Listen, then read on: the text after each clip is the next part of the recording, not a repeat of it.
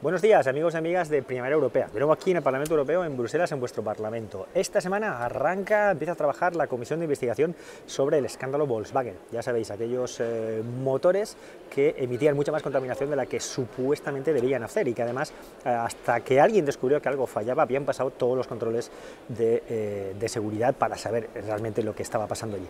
Pues bueno, ya os dijimos la semana pasada que había una persona importante, en este caso, que desde Primavera Europea íbamos a traer aquí, al Parlamento Europeo. Se trata de Vicente Franco.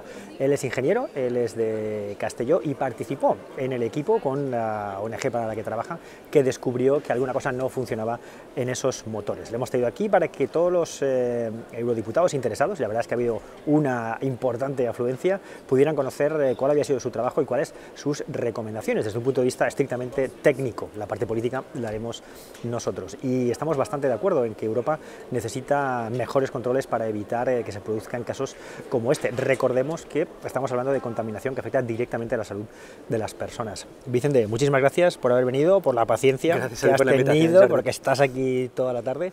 Y bueno, ¿cuáles serían dos, tres conclusiones básicas de todo el trabajo que vosotros eh, habéis hecho en este asunto? Las conclusiones básicas pues serían que el problema con las emisiones de los óxidos de nitrógeno del diésel permanece, que está más extendido de lo que creíamos en un principio y que necesita mejor regulación. La, la solución al problema es, es, una combinación de mejor tecnología y mejor regulación. La tecnología existe ya, uh -huh. lo que no existe son los incentivos que permitan que se, esas tecnologías se apliquen de forma universal. Y eso es lo que va a ser vuestro trabajo. Para la tecnología estáis vosotros, estáis los, los, ingenieros y como dices, ya hay métodos, o sea, esto es técnicamente viable, que los, que los motores sean mucho más limpios de lo que son. Exacto, sí, es, es posible tener un diésel mucho más limpio de lo que lo tenemos ahora, eso sin duda. Sin embargo, si no lo ha sido, ha sido porque no se está aplicando correctamente esa tecnología.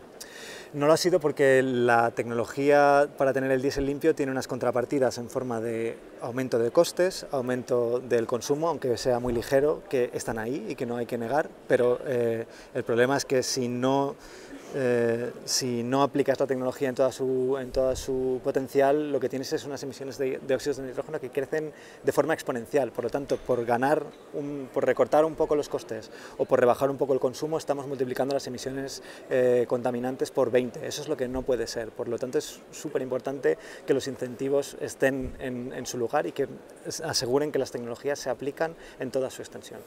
Creo que Vicente lo has dejado bastante claro. Nosotros lo tenemos muy claro. Primero está la salud de las personas y luego el negocio.